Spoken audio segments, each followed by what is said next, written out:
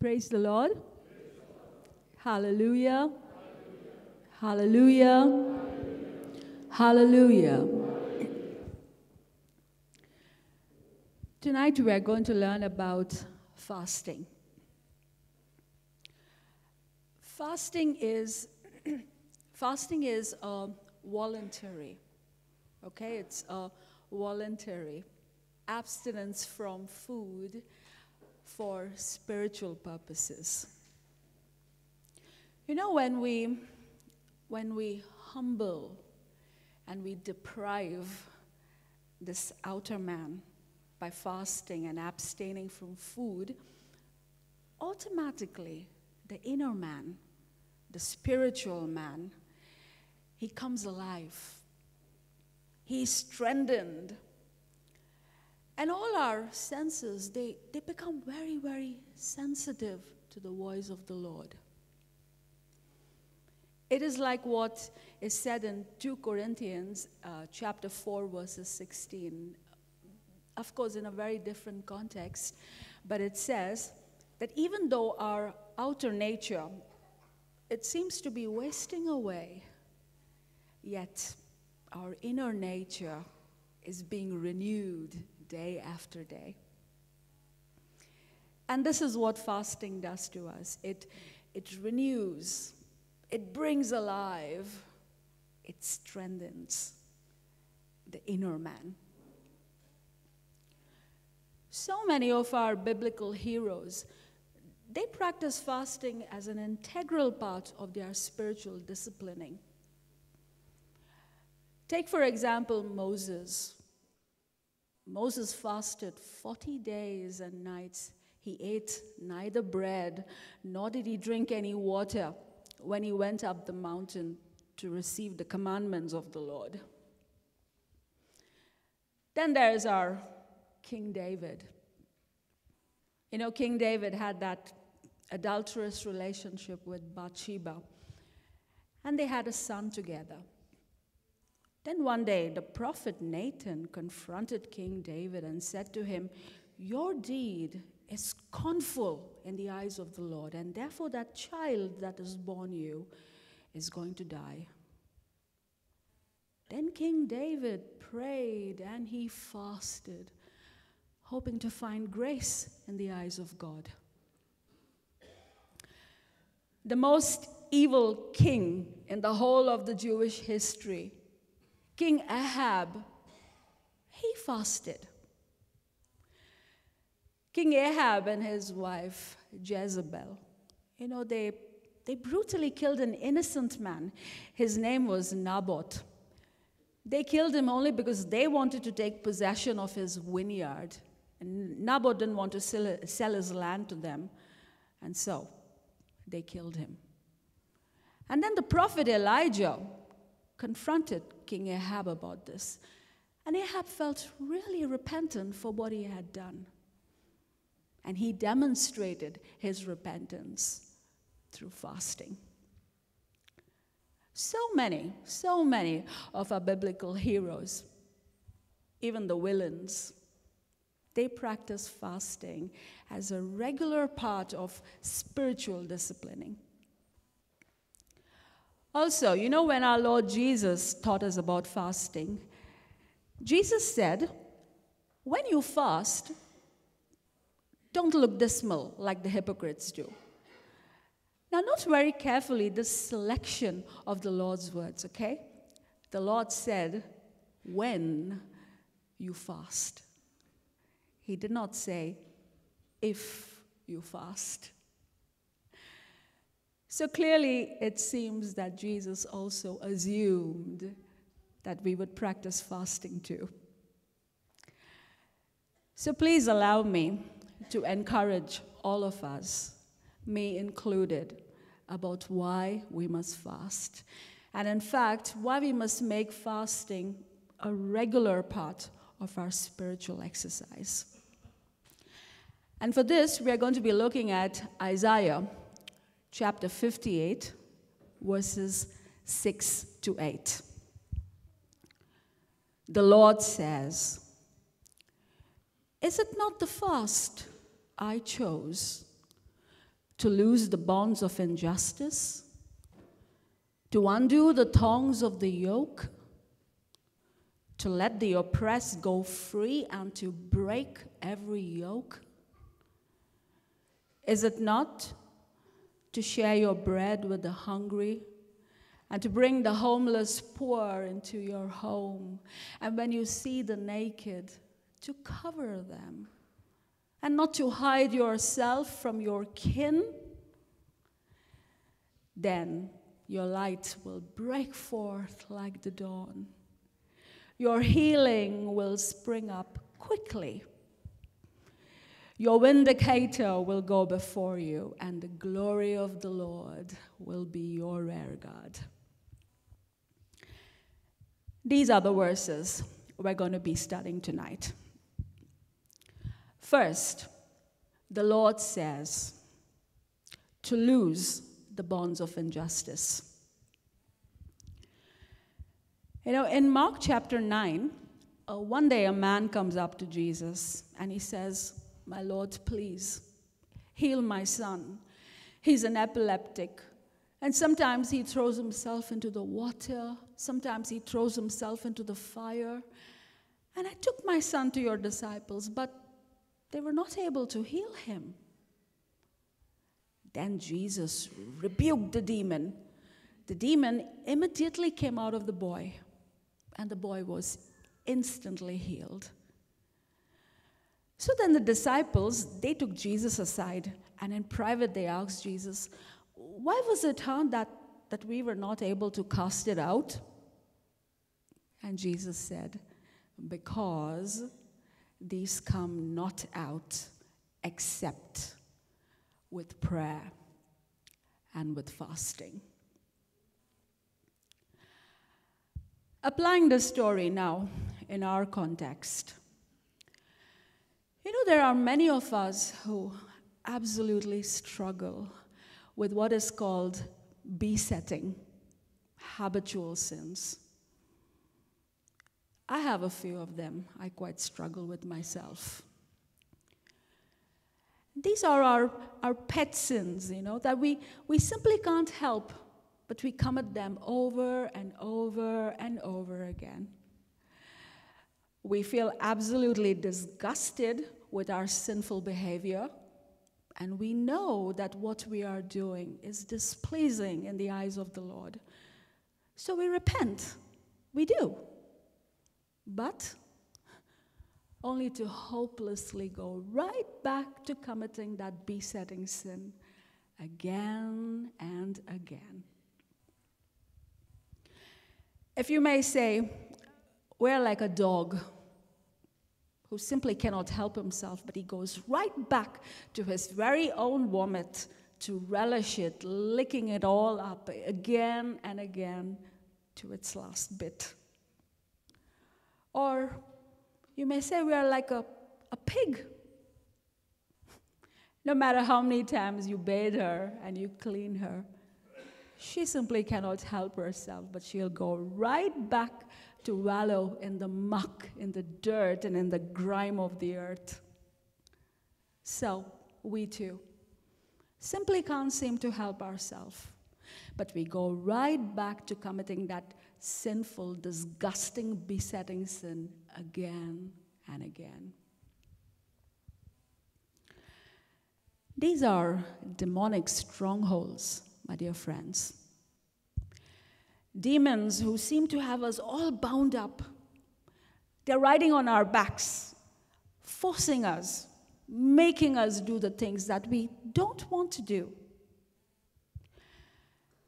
Maybe it's pornography, or masturbation, or lewd, dirty, vulgar talking, or flirting, promiscuous behavior, compulsive eating, cheating, lying.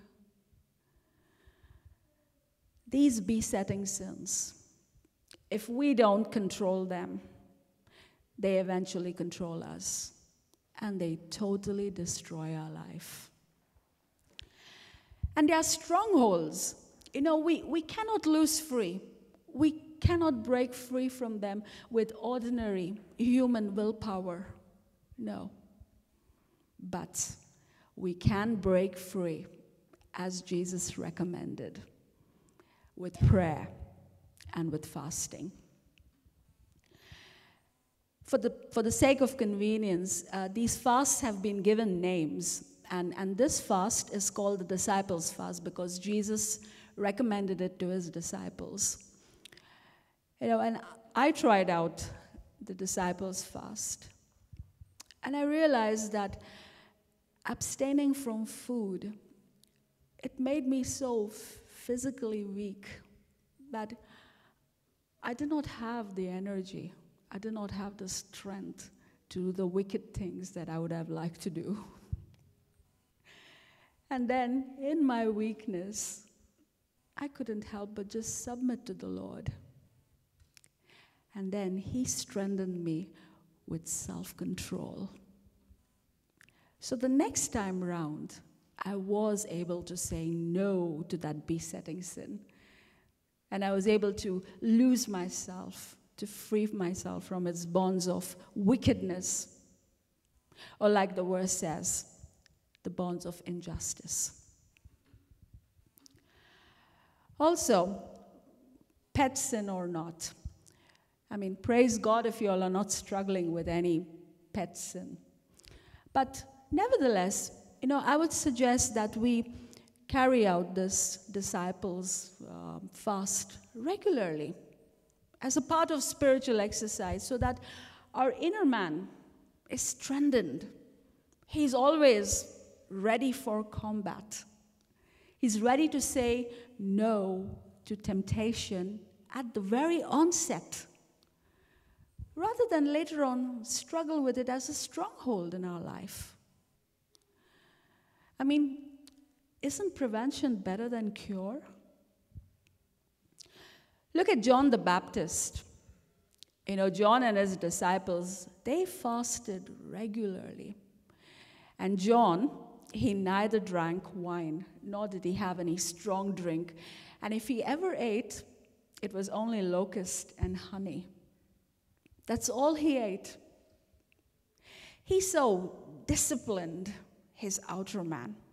He so brought his flesh and all its cravings into subjection. He so strengthened his inner man. And see, there's not a single sin recorded against John the Baptist. In fact, he lived such a righteous, such a godly life that even Jesus said of him, Of all the people born of women, there is no one greater than John the Baptist. So, I encourage us all to practice the disciples' fast regularly for our spiritual disciplining. And the verse promises us it says, Then your righteousness, your vindicator, will go before you. Second, the Lord says, to undo the tongs of the yoke. You know, sometimes we are faced with very complex uh, situations in our life, uh, very complex decisions to be made, and we're confused, indecisive. We don't know which way to go. Say, for example, you've lost your job, and you've been out of a job for quite a while now, and you wonder should I stay put in this country? Or should I return to my own homeland? Or maybe it's a marriage proposal you've received, or a business proposal that you've received. And you're wondering should I accept or should I not? And these moments of indecisiveness, these moments of confusion, you know, they can leave us feeling pretty burdened, pretty yoked under in our spirit. And we just hope that the Lord would shed His divine light on our confusion and, and give us some clarity on the matter. Show us the path that we need to take. Then it is time for us to pray and to fast what is called the Ezra fast. You know, Ezra had this kind of complex situation on hand. He had to lead the Jews back to Jerusalem after a very long captivity in Babylon. And Ezra knew that there were many roads between Babylon and Jerusalem. Some of these roads were infested with thieves. Thieves who would not only loot you, but they would massacre, they would kill brutally. And Ezra was confused. Which road do I take? What action plans do I make? How do I manage so great a people entrusted to my care? Where do I start? What do I do? Where do I end? He was so confused. So he just declared a corporate fast. Everybody prayed and they fasted for the wisdom of the Lord. And the Lord Himself gave clear cut instructions to Ezra about what he had to do. And Ezra was able to resolve the confusion immediately. Yet another biblical story Saul. When Saul was on his way to Damascus and he encountered Jesus en route, Saul was struck blind. Now, not only was Saul in an utter state of darkness because of his blindness, but he was in an utter state of confusion, perplexed. This Jesus, is he Lord or is he not? His disciples who have been persecuting, should I be killing them or should I not? He was so confused. So he prayed and he fasted. And along came Ananias, laid his hands on Saul, and immediately light broke forth in Saul's darkness. Saul was able to see again, and he saw so much, he saw so clearly that he knew he had to accept Jesus as the Lord and Savior of his life. My mother one day, she very sweetly shared with me a time in her life when she was very perplexed and how the Lord helped her to make the right decision. When my mother was in college, not married, my, my daddy used to be her math tuition teacher. And my mother hated math so much she hated the subject so much that she couldn't help but just detest the teacher who was trying to teach it to her. But someday, one day, something very unexpected happened. Daddy proposed to mom. And mom tells me she was so confused. Because, inasmuch as dad was a good man, he was a kind hearted gentleman, but he was years older than my mother. And he was such a nerd, always playing around with numbers. That was the last thing my mother wanted. also, daddy was very dark skinned, you know, but my mother was very fair and very, very pretty. And as if all this was not enough, daddy had nothing with him. He came from a little town named Karwar in Karnataka. It's in the south of India. And he was only a paying guest in Bombay. He had nothing with him. While mummy, like any other young girl, she would have preferred to marry somebody who was reasonably wealthy, well placed in life. So, even though all the odds were clearly against my father, Yet, because my mother was a very prayerful young girl, she decided to pray and to fast and to ask the Lord what was His decision in her life. And I think that's such a sweet thing.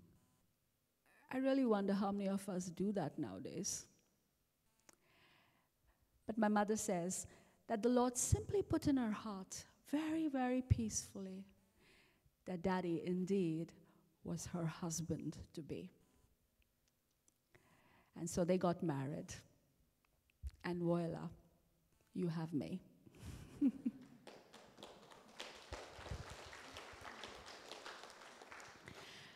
but if at any point of time in your life you're confused, you're indecisive, or maybe you've decided, like my mother, decided, but you would like to confirm your decision with the Lord, then pray and fast what is called the Ezra fast. Third, the Lord says to let the oppressed go free. In 1 Samuel chapter 4, it was the time when Eli was the high priest. The Philistines, they attacked the Israelites in battle. They defeated them and they totally massacred them. Eli had two sons, and the Philistines killed both of them, and then the Philistines, they captured the Ark of the Covenant and they took away the Ark of the Covenant. The Ark of the Covenant now represented the presence of the Lord.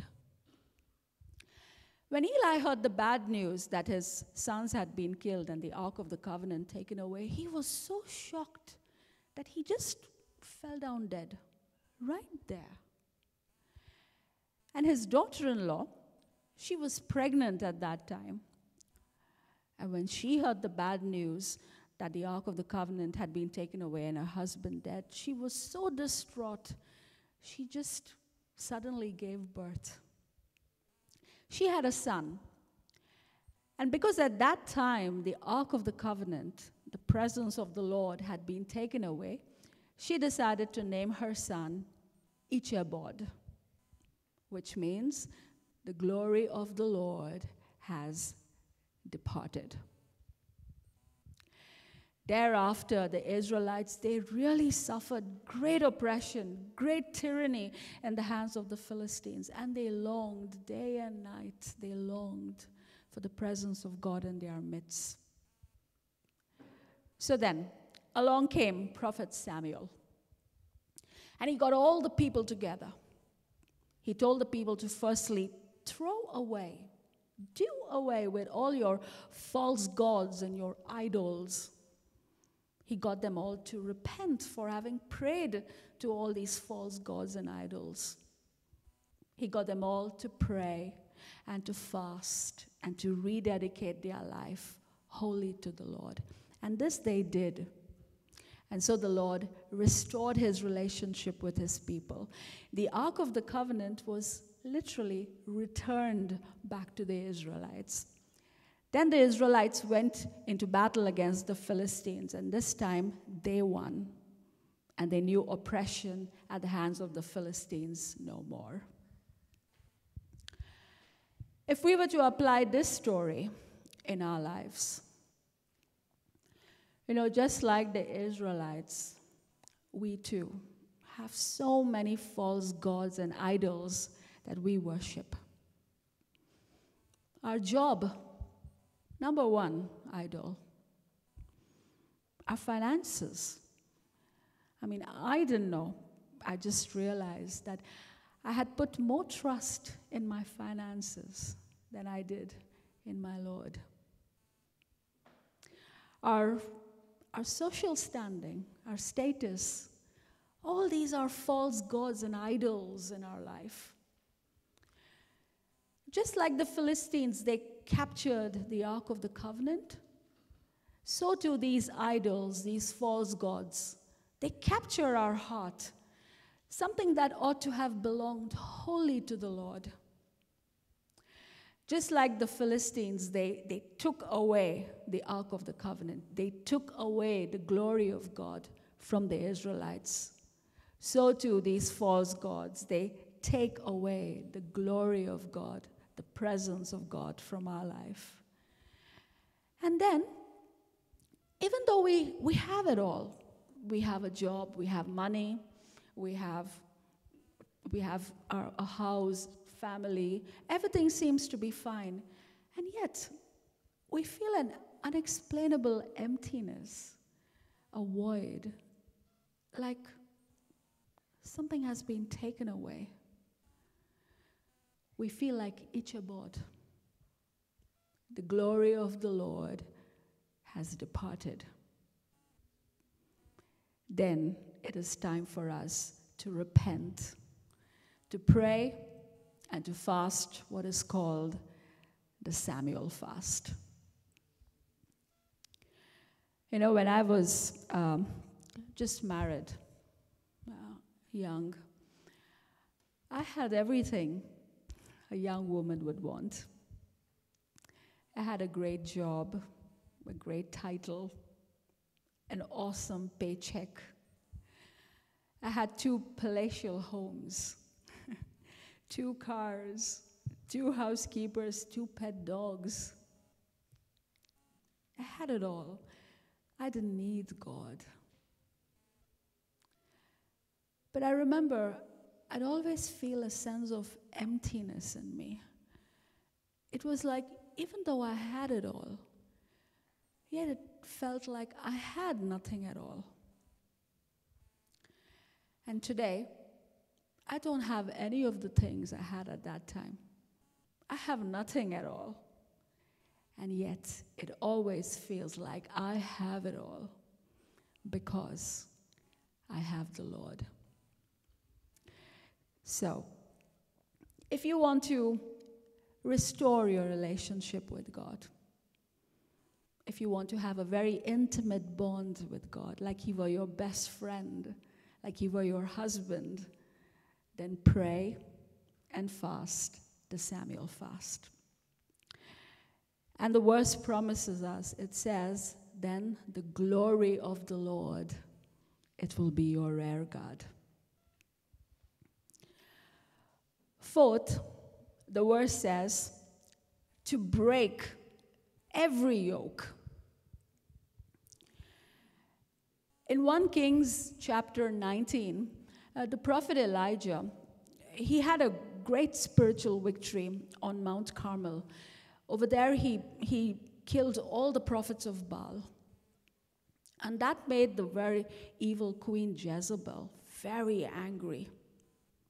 And she swore, one way or another, she was going to get her hands on the prophet Elijah and she was going to kill him. And this made Prophet Elijah very frightened. So he ran, he fled for his life into the wilderness. He sat there under a broom tree, all terrified, all scared, depressed, suicidal. And he cried out, Lord, enough, Lord, please take my life. And then suddenly, an angel of the Lord appeared, and the angel gave him some supernatural bread to eat and some water to drink. And Elijah had it all because he was so tired, he went back to sleep. And then the angel came for the second time and gave him some supernatural bread and water, which he had again.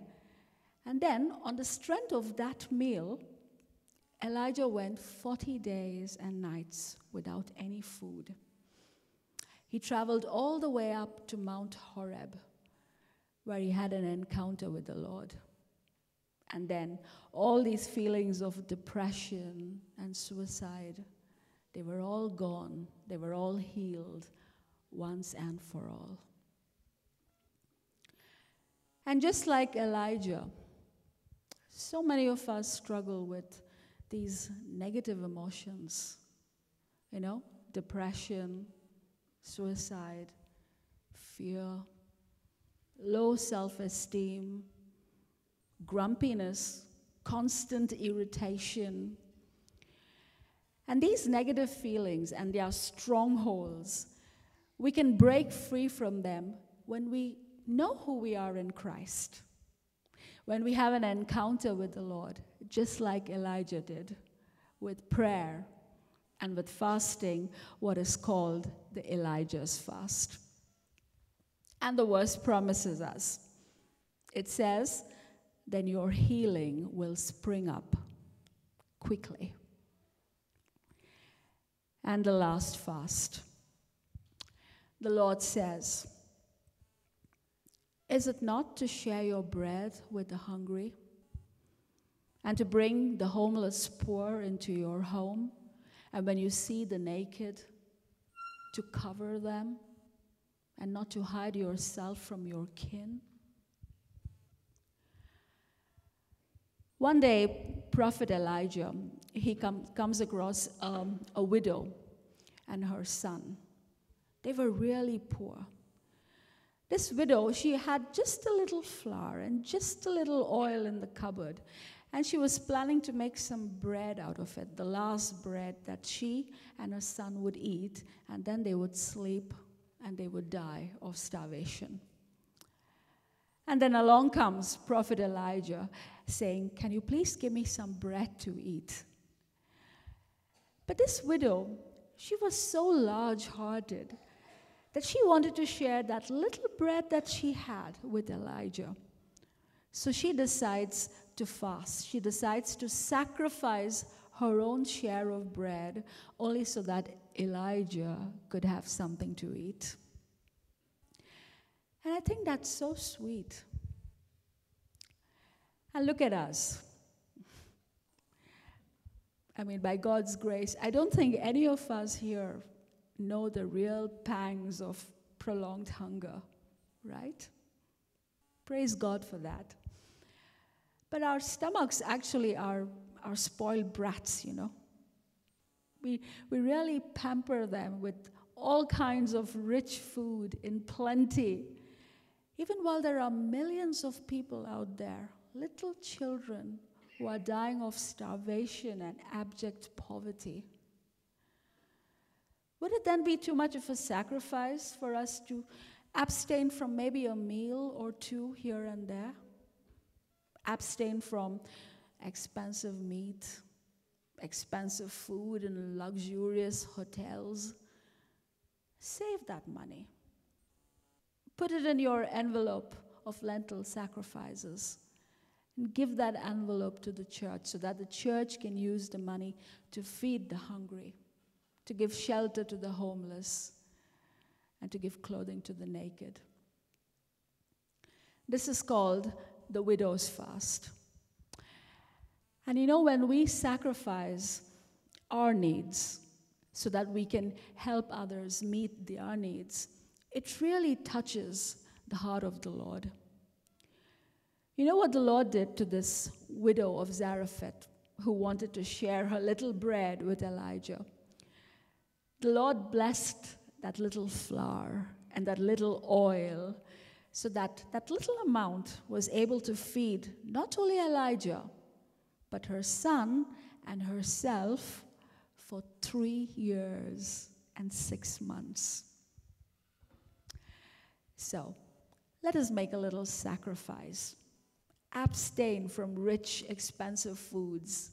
Save a little money and bless the poor. And in turn, be blessed yourself. About how we must fast, how to prepare for a fast, we have a video.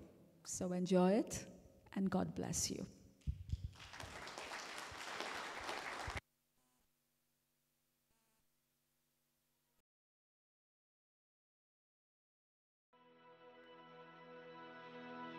Every year, as a church, we pray and fast because we want to hear from God. Soak ourselves in the Word and be in faith together for what He will do in and through our lives. When we fast, we humble ourselves before God and declare that we want Him more than food. By denying ourselves for a time, we are better able to focus on God and become more sensitive to His voice. As we enter a time of prayer and fasting, here are a few things to remember. Prepare spiritually. Prepare physically. Commit to a type of fast. Prepare spiritually. Corporately, We fast to consecrate ourselves, our families, and ministries to God. Know that simply not eating does not have any spiritual benefit. Believe God for greater things as you list your faith goals. Be expectant for God to answer and for God to transform you in the process. Prepare physically. Start eating smaller portions and meals seven days before you begin your fast. Avoid food that is high in sugar and fat. Two days prior to the fast, eat raw fruit and vegetables only. Consult a doctor if you need to. Commit to a type of fast. Commit to a water only or liquid fast for the week. However, if you are unable to do so due to certain circumstances, there are alternatives, like having one meal a day or doing a combination fast. You can eat one meal for a day or two and do a liquid fast for the rest of the week. Do not decide about the type of fast on a day to day basis. Commit before the fast and ask God for grace. Be ready to hear from God, respond to His word, and believe for breakthroughs.